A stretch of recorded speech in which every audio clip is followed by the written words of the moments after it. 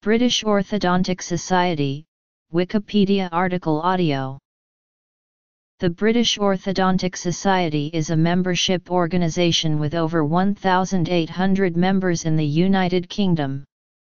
It is the largest of the dental specialist groups and dates back nearly a century to the formation of the British Society for the Study of Orthodontics. Other orthodontic groups were founded in the over the years and in 1994 they all came together to create the British Orthodontic Society. This society was started by Dr. George Northcroft in 1907 as BSSO.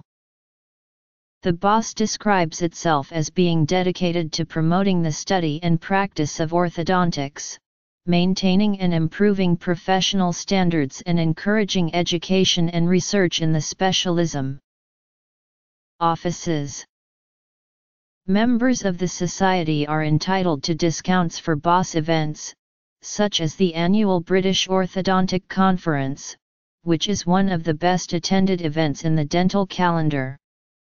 Members also receive the BOS News and the Journal of Orthodontics as part of their membership subscription.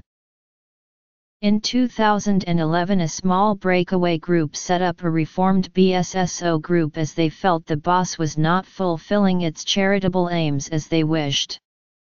This, however, has only led to one or two resignations from the Society and the vast majority of members support the aims of the Society and feel that the unification of the old societies has benefited patients as has pooling resources and speaking with one voice. The unified society is far greater than the sum of the individual societies. The trustees of the Society have no intention of changing the stated charitable aims of the British Orthodontic Society which are promoting the study and practice of orthodontics, maintaining and improving professional standards and encouraging education and research in the specialty.